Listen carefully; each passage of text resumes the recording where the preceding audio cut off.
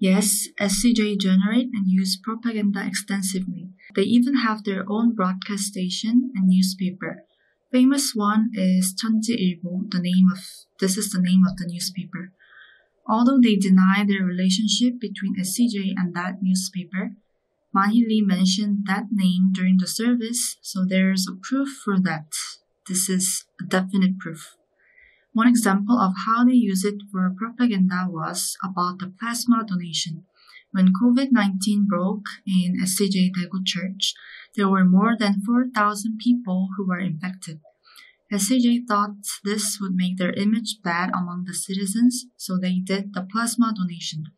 Actually, the leadership of SCJ commended members to do so. After the donation, they did extensive broadcasts about SCJ Daegu members donating their plasma. They do care about public opinion and even manipulate it. Also, H2Pyeong. SCJ used H2Pyeong as a front organization. Same, they deny the relationship between SCJ and H2Pyeong. However, it is really amazing how SCJ uses H2Pyeong as a propaganda. Yes, but depends on characteristic of people. Some openly reveal those information which they gained in confession sessions with each member, and some don't, or do it as a maneuver. It depends.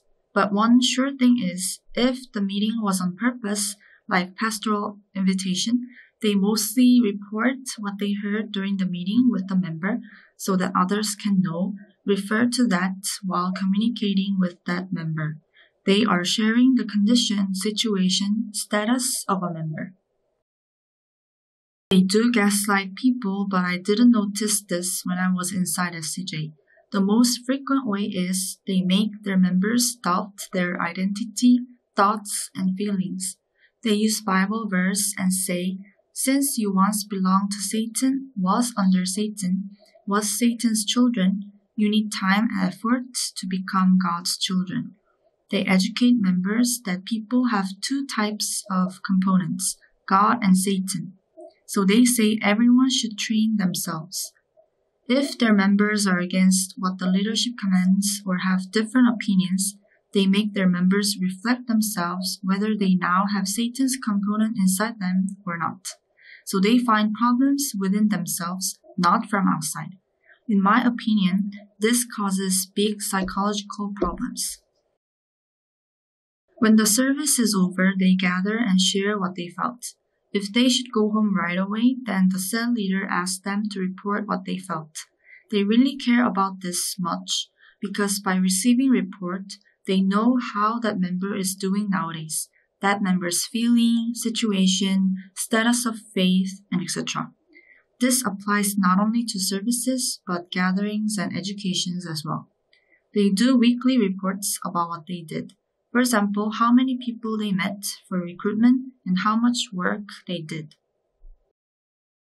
I didn't really saw this kind of thing, but I know they do spying, reporting on others' misconduct or thoughts. They do feedbacks about their about their members. When I was a team leader, I did this too. For example, one of the meeting's agenda is doing feedback about each member. What is their problem nowadays? How much work they're doing? And if they lack some parts, I did feedback about how to make them do the work, how to stimulate or motivate them. SCJ's doctrine is dichotomy. They divide this world into two parts good or evil, God or Satan. For me, it was simple, not complicated, so I really liked it. When we look at this world, it is so much complicated. I had so many thoughts, I wanted to find simple and definite answer. But since I left SCJ, I trashed those kind of thoughts. Still, this world is complicated, but now I know that it is still fine if I don't have the definite answer. I just look at issue or situation as it is. Now I don't divide this world or people into black or white or good or evil. They do educate members to change their image and identity into God's form. They claim those education or teachings are based on the Bible, but they are not. Distorted information are much included. They don't change names. I only saw one case since his name meant dragon's root. which is evil according to their doctrine, he changed his name afterwards. But no any force was there, it was just his personal choice. I searched on the dictionary and it says loaded words are a persuasive technique that has also called emotive language, high interf- interference language, or loaded terms. It is often used in order to gain support, sway opinions, degrade others, such as in a political campaign, gain a political foothold, push an agenda. Based on these, SCJ do use loaded language during service, during education.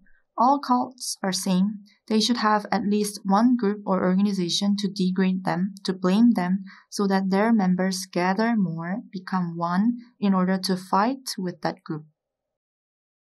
This not really happens in SCJ. Actually, I was involved in and doing work which required me to think a lot, but the flow and purpose of those thoughts were how to make other people understand SCJ doctrine and how to persuade or make them do the work with us. They have their famous slogans. One of them is, We can do it. Not that excessive, no much medication. They just gather every Friday and do the singing, chanting, and prayer. As far as I know, it is similar with normal churches. Purpose wasn't to block thoughts, they just did it for real, begging and praying for God, feel blessed through singing and chanting. They don't reject this, but if it is unpure, they do care about it. For example, if the member has a pure heart to know the teachings of SCJ doctrine and wants to ask question to seek for an answer, they welcome this. However, if it is to attack SCJ doctrine, they don't welcome this.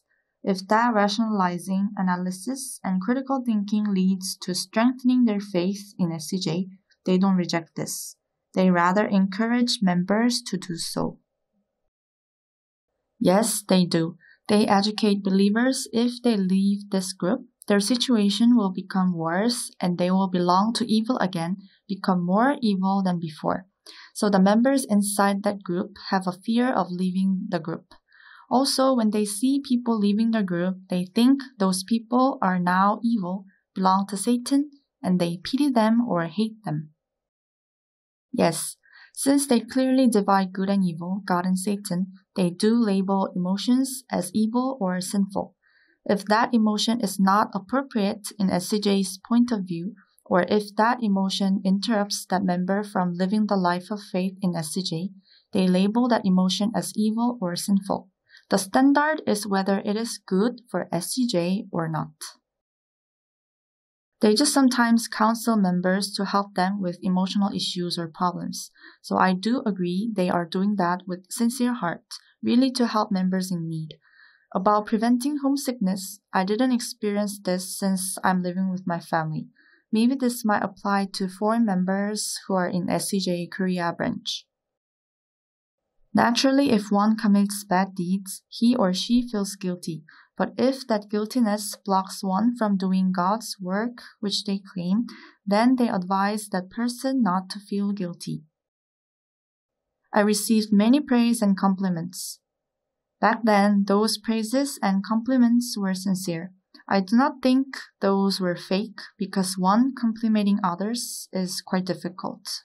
Sometimes they over compliment others when they have to buy that person's heart in this case, some lies are included. Not really. They sometimes threat their members when leaving their group, but I didn't receive any threats after I left SCJ.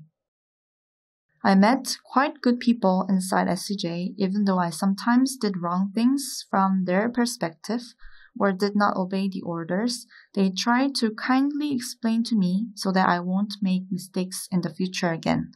I somehow felt their sincere heart as if parents are talking to their children. They do educate members to feel happy inside SCJ, that God chose them and brought, called them into SCJ, instilling thoughts that being in SCJ will make you happy in the end.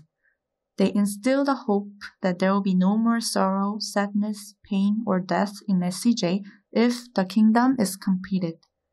I also thought even though I am so tired or emotionally drained or stressful, at least I met God and now I am in SCJ, so I must be happy. As I think of it now, I was sometimes sad, felt overwhelmed, sometimes felt blessed, happy, and confident. So many diverse feelings. But these feelings are what I feel nowadays as well. Even I left SCJ. If SCJ person says I am happy, that's kind of a spell. Definitely they're sometimes sad, angry, and despair as well. They're human beings with emotions. The reason why SCJ educate members to feel happy and blessed is because once they leave that group, there will be fear if their life will become unhappy and misfortune.